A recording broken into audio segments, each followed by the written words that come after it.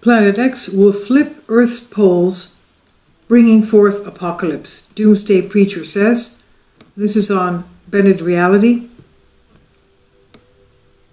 Right before, when finally Planet X moves far enough away from the Sun that everyone on Earth looks up and goes, Oh my God, how could it have gotten there? And they never told us. How? Who's been lying to us? End quote. Via Sputnik News. Planet X, otherwise referred to as Nibiru or Nemesis or Wormwood or Planet Nine or Goblin or whatever else name they want to put, Hercolubus, whatever, I don't know, uh, has long been a central, or the, or the blue star, red star, Kachina, whatever, has long been a central icon to a wealth of conspiracy theories, including amusing predictions that the approaching mystery planet will cause a massive increase in Earth's gravity, bringing about more than just tidal abnormalities. So called Planet X, another name for the oft theorized doomsday planet of Nibiru, will reverse the Earth's magnetic poles and drastically change the way the planet looks when it passes sometime soon, according to conspiracy theorist and doomsday preacher Gordon James Gianninoto.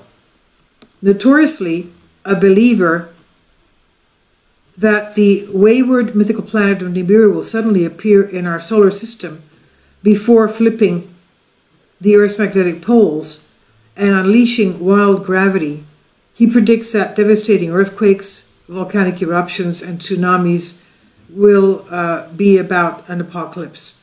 Speaking live to Coast to Coast AM radio, Gianninoto claimed that Planet X will not approach the Earth directly as it exacts its toll, at the same time remarking that the still unproven heavenly body size, much larger than our Earth, means it will strike from a staggering distance of 24 million kilometers.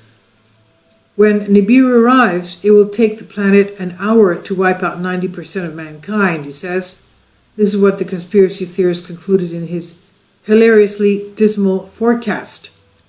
Now, he may be uh, quoting somebody else, uh, like uh, Thomas and his uh, book on uh, the Book of Adam and Eve, the book that was banned by the CIA that was just recently released. Uh, 65 page book. I have the PDF of that and I will be reading that for you to listen to, to have the if you have the pleasure, pleasure of listening to it, just as a matter of reference, that you can say that you did listen to it as to what it says because the CIA had banned it.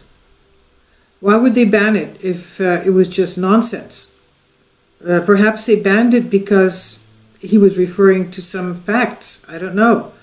I haven't read it yet. I've just uh, learned about it. I've uh, heard sections of it, but I want to read it uh, for myself and and for you to have the benefit of that.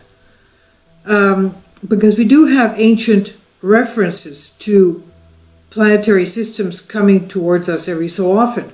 We even have great accounts of earth changes and great floods and huge earthquakes and division of the earth uh, in uh, pr- the pre flood uh, era of the Old Testament. So it's even in the Old Testament. And also, we have reference in the book of Revelation, even from our Lord uh, uh, and Savior Jesus Christ's mouth, as to bod- the bodily uh, powers being changed uh, the sun and the moon will darken. The stars will be as if uh, falling from the skies. The uh, the constellations will change positions.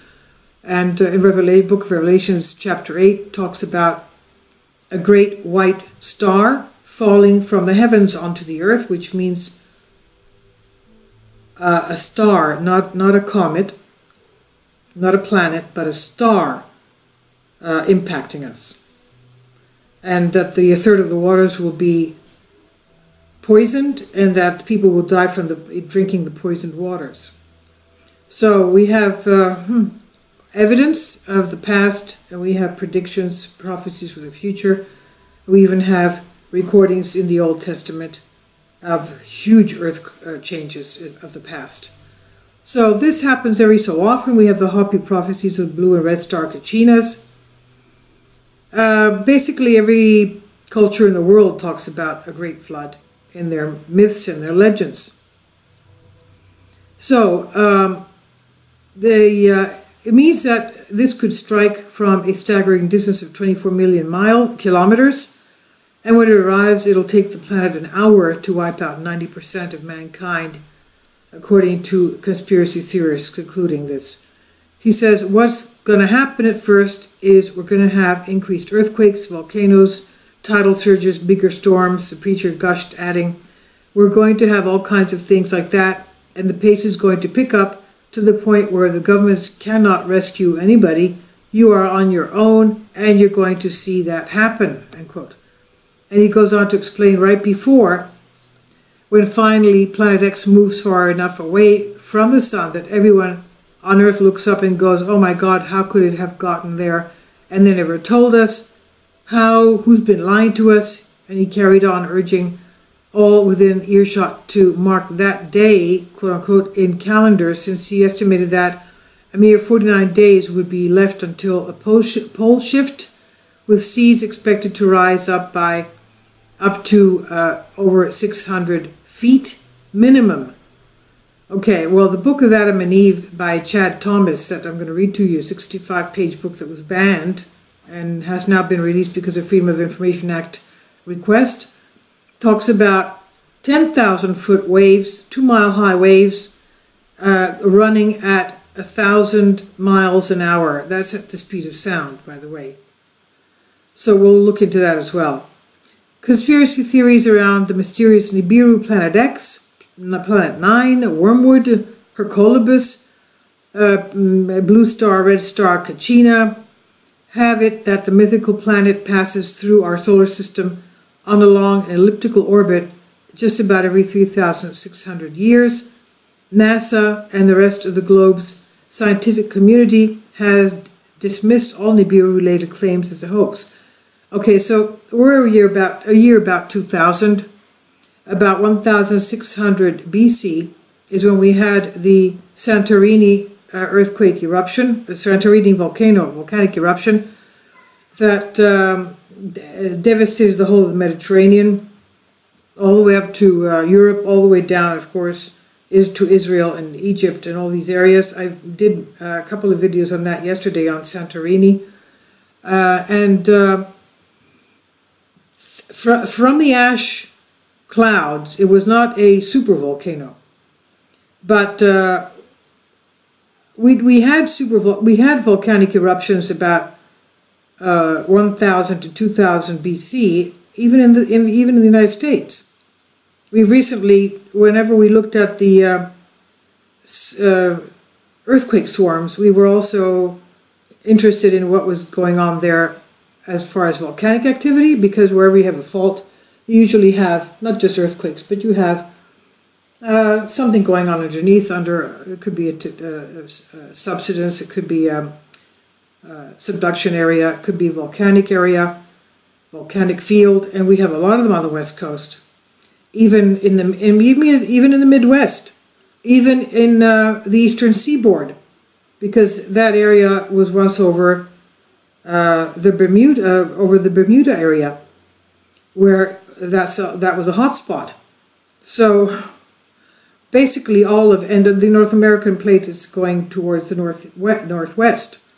Uh, so uh, we saw that we had eruptions uh, as recently as about a thousand years ago on the west coast. So it could be that uh, that was the last passage, about 1,600. That was about the time of the Exodus from Egypt and the tribes of Israel wandering 40, uh, 40 years in the Sinai desert before entering the Promised Land. So that somehow goes together with what happened during the Exodus.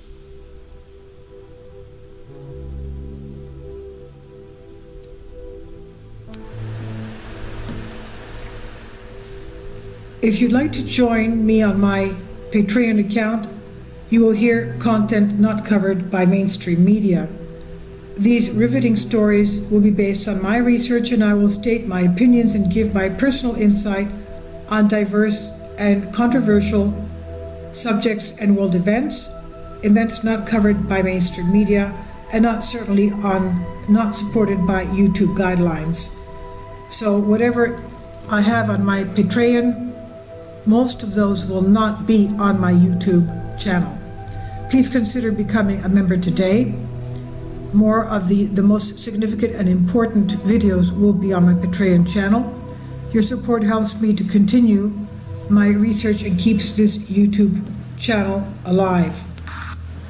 And we depend on your support, your generous charity, because we help economically challenged families here in Athens, Greece, in Kapota, and we also help the young generation with university tuition and the community around our church.